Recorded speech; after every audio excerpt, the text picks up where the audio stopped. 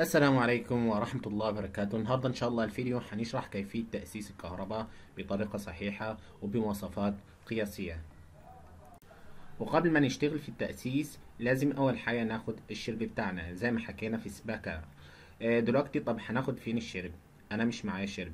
أنا أطلع دلوقتي على السباكة وأعلى نقطة في السباكة أخد الشرب بتاعي وهي البيبة. أرتفع عن البيبة حوالي خمسة سنتي.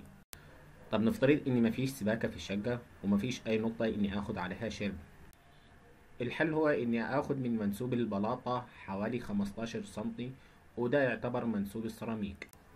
وبعد ما أخدت الشرب بتاعي أنا لازم أعرف مكان الإنارة ومكان البرايز والمفاتيح ده أول حاجة. وبعدين أحدد وحدة التوزيع وده اللوحة الرئيسية اللي هوزع منها الخطوط كلها في الغرف وفي الحمامات والمطابخ. وبعدين أحدد لوحة التوزيع وهي اللوحة الرئيسية اللي هيتركب فيها القواطع واللي هيتم منها توزيع الغرف والمطابخ والحمامات. تعالوا إزاي نعرف المقاسات الصحيحة؟ وهنوزع إزاي لوحة المفاتيح والبرايز والإنارة. دلوقتي معانا لوحة توزيع رئيسية هناخدها على ارتفاع 180 سنتي من منسوب السيراميك. إيه بعدين معانا دلوقتي مفاتيح الإنارة وعاملينها على 120 سنتي من فوق السيراميك. ومعانا منسوب البرايز أو الفيش برضه هناخدها على 60 سنتي من فوق منسوب السيراميك. ودلوقتي أنا عملت منسوب السيراميك وهو أخدت من البلاطة حوالي 15 سنتي ومن بعد 15 سنتي أنا أعمل المقاسات الصحيحة زي ما شايفين في الشاشة 180 سنتي ده ارتفاع اللوحة و120 سنتي ده مفاتيح الإنارة والبرايز والفيش ده 60 سنتي من فوق السيراميك. وبعدين أنا آخد من لوحة التوزيع كل غرفة ليها خطين يعني آخد خرطومين خرطوم للتكييف وخرطوم للإنارة والبرايز. وبعدين هندخل الغرف وهنوريكم إزاي الشغل بتاعنا. وده الخراطيم الممدودة. آه هنا في نقطة هنا في لوحة خدمات. وتعتبر لوحة الخدمات اللي موجودة في الشاشة ده المسؤولة عن الانترنكام والنت والخط الأرضي والمسؤولة برضو أيضا عن الدش. وده الارتفاع بتاعها عن منسوب السيراميك حوالي خمسين سنتي. وبعدين هندخل لغرفة الماستر وهي غرفة النوم الرئيسية وهنوريكم كيفية توزيع الإنارة والبرايز والفيش. وهنا في علبتين مفتاح وهيكون بينهم سرير. السرير ده عرضه حوالي 160 سنتي. وهيكون البعد بين العلبتين حوالي 2 متر وعشرين سنتي لأني هاخد 30 سنتي يمين و30 سنتي شمال السرير. بعدين هنشوف مفتاح التكييف ومفتاح التكييف ده هيكون ارتفاعه متر وعشرين سنتي من فوق السيراميك. وفي فتحة شنيشة عاملها جاية من لوحة الخدمات. فيها خراطيم.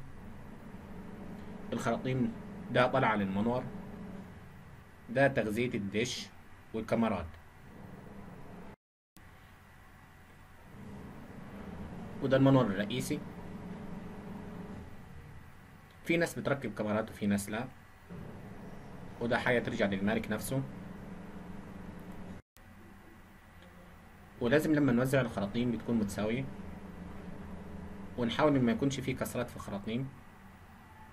عشان السلك يعدي فيها بعد التشطيب. وده ريحة الخدمات اللي اتكلمنا عليها. وهندخل الغرفة اللي بعديها. وده غرفة معيشة. وبرضه موجود فيها البرايز على ارتفاع ستين سنتي.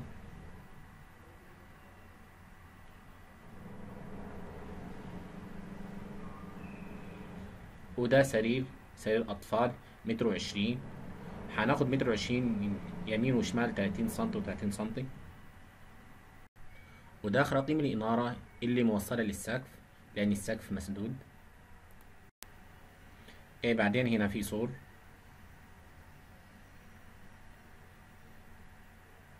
وده باريزة على ارتفاع ستين سنتي فوق السيراميك.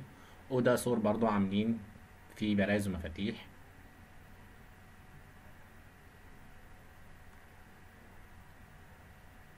وده خراطيم التغذية.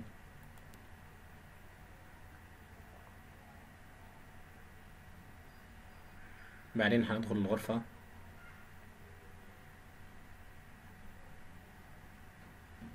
وده البرايز على ارتفاع ستين سنتي فوق السيراميك.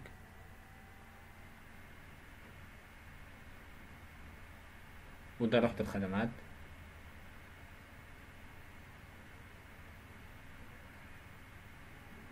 وده الإنارة اللي على الإيد الشمال. ده الإنارة بتاعت الطرقة وده الغرفة التالتة. فيها برايز. وده البرايز على ارتفاع ستين سنتي من فوق السيراميك.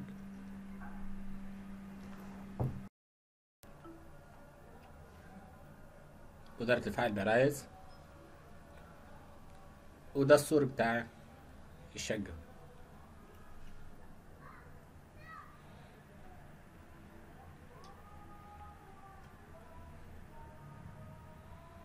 توزيع البرايز هنا على حسب المالك.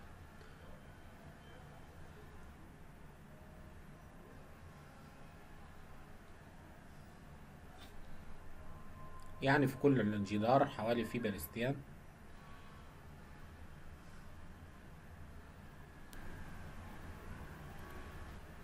وده الحمام. وده توزيع الخراطيم.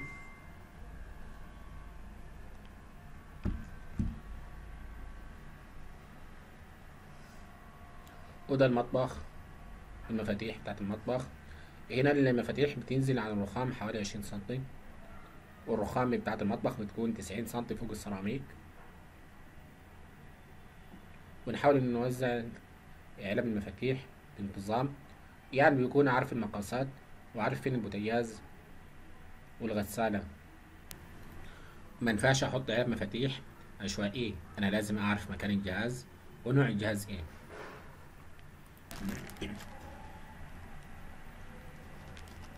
وده علبة الإمارة بتاعت المطبخ برضه على ارتفاع مية وعشرين سنتي فوق السيراميك. والعلبة اللي في الطرقة ده برضه على متر وعشرين فوق السيراميك. وده, علبة برايز على ارتفاع ستين موجودة في ال reception. وده حمام.